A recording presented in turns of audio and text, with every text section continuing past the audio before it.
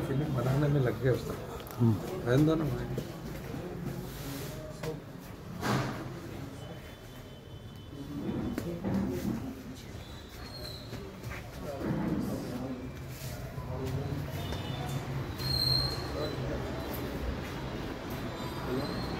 Gracias.